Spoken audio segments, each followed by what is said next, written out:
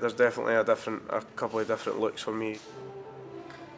Obviously, you've got your smart suits and your shirts and ties and dressy shoes and stuff, but then we're trying to keep it real as well. On the other hand, because obviously I'm younger and edgier, and you know, just try and keep it trendy. So we've got just jeans and t-shirts, and you know, just try to mix and match. It's cool. Yeah, Tina. Move a little bit more over there. Get it? Okay. It's just absolute dream come true. People like the record label buying these lovely clothes and stuff for the photo shoot. Really happy, I really happy. It's been a really good day and there'll be a lot of images at the end. I've never ever been in a position ever in my life to be wearing the designer brands and stuff, so it's a real treat and a real trip for me. はい。